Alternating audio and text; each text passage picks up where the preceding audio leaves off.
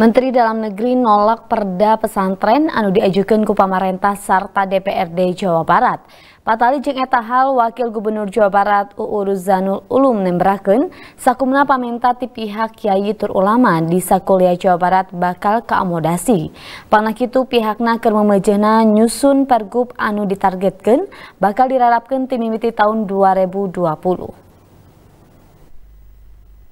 Nalika diwawancara satu tas ngistrenan DKM Masjid Al-Jabar di Gedung Sate Kota Bandung, Poe Senin isuk-isuk Wakil Gubernur Jawa Barat UU Ruzanul Ulum ngebrehkeun najan perda pasantren ditolaku mendagri pihakna bakal ngakomodasi pamenta sakumna kiai ulama turta pasantren di nawangun pergub.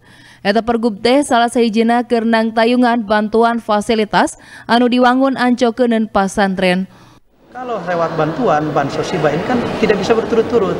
Tahun ini dapat, tahun depan tidak. Sementara perhatian terhadap atau kebutuhan pesantren kan tiap hari tiap tahun. Begitu juga, kenapa tidak kalau SD bisa dibangun, SMP, SMA bisa dibangun oleh pemerintah secara reguler. Kenapa tidak? Tahun yang akan datang pun pondok pesantren bisa diberikan bantuan seperti hanya pembangunan SD, SMP lewat rekanan. UU Ngembohan kiwari eta pergub teh keur memejehna dipadung dengkeun ku timna sarta ditargetkeun bakal pungkas tur tak dilarapkeun dina tahun 2020.